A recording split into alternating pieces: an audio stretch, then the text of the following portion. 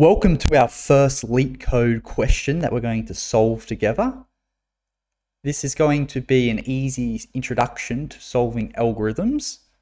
So we're going to first see how we would intuitively sort of solve this question and hopefully it's not too difficult. And then we'll also see the time and space complexity of it.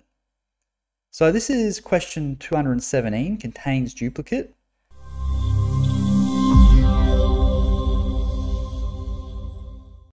Given an integer array nums, return true if any value appears at least twice in the array and return false if every element is distinct. So if any element is duplicated in the array, we need to return true. Otherwise, we return false. So let's look at this example one. We can see that if the numbers one is duplicated a second time, we return true. And in the second example, we can see that one's not duplicated, so we return false. And there's no other duplication there. Let's start by creating a type, and we'll call that tally. And this is just going to be a map of numbers to numbers. So we'll have the num as the index, and we'll give that the type number. And then that's going to map to a number. So basically what this is, or what this type represents, is we're going to, um, it's essentially an object of keys and values where the key is the number that we're on and the second um, number or the value is going to be the frequency.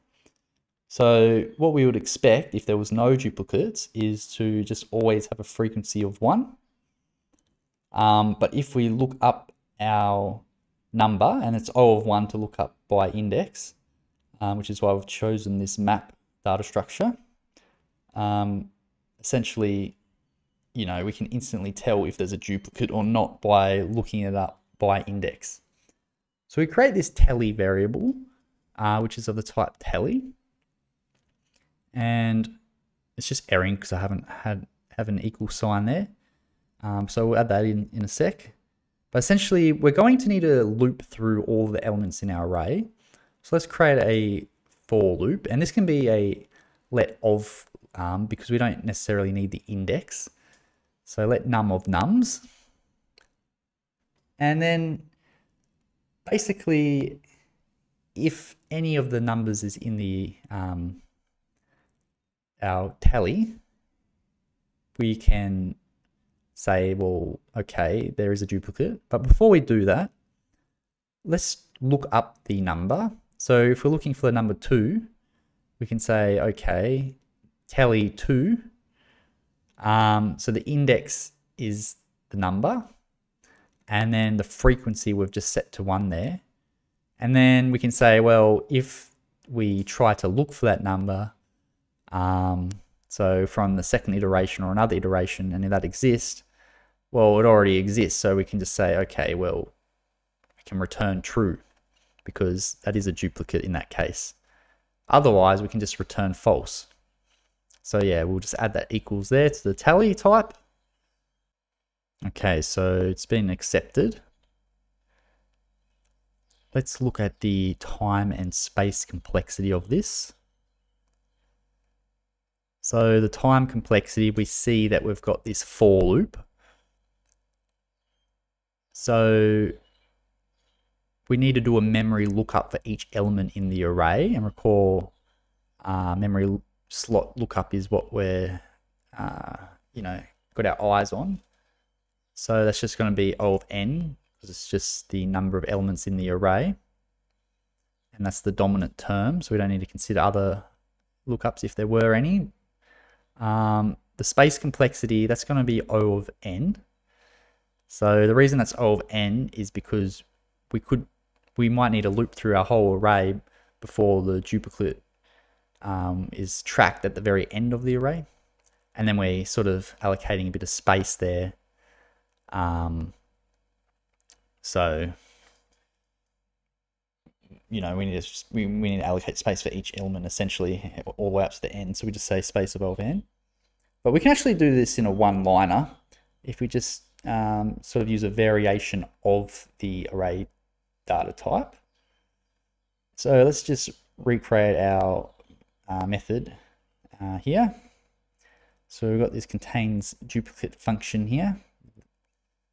And essentially what we can do is we can create a new set.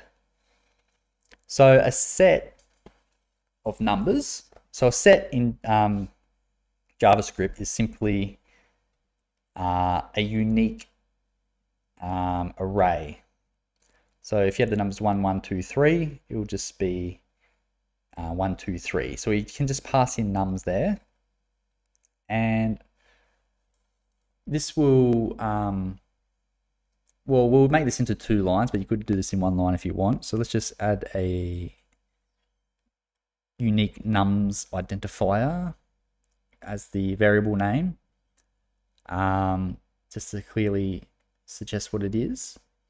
So essentially, if the numbers in the set is not equal to the numbers that got passed in, it means that there was a duplicate because the set can only take in unique numbers. So on a set, we use the size um, method. And basically, if that's not equal or if that size is less than because we've filtered some things out that have been duplicated, if the unique nums uh, set size, if that's less than the length of nums, essentially, um, well, that's going to indicate that we've our numbers contain a duplicate. So the space, once again, is of n, because we're going to need to allocate memory for each of the um, elements in the set. So it's not O of 1, but it's O of n because uh, each because we're not um, we're not using a pointer to the existing numbers we're reallocating memory for each number to create the set um, so it's actually going to be O of n and the time complexity um, is going to be of 1. So please ignore the line 1920. I think I got them mixed up, the time and space complexity there. Um, but the time complexity is of 1. Well, it's actually, I think it is O of n because even though we're, um, when we allocate the memory, um, essentially we're going to need to look up the other existing array. So since we need to look at nums anyway and loop through that, we need to access each memory. So that's going to be of n there. Um, so yeah, I think that actually is okay. And let's just go ahead and submit that.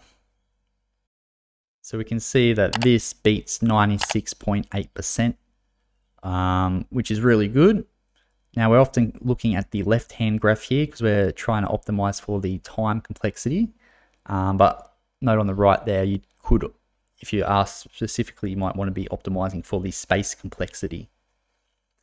So we just talked about the, um, you know, how we can alter the data structure from a, an array to a set. Uh, in the next video, I want to look at the two-sum problem.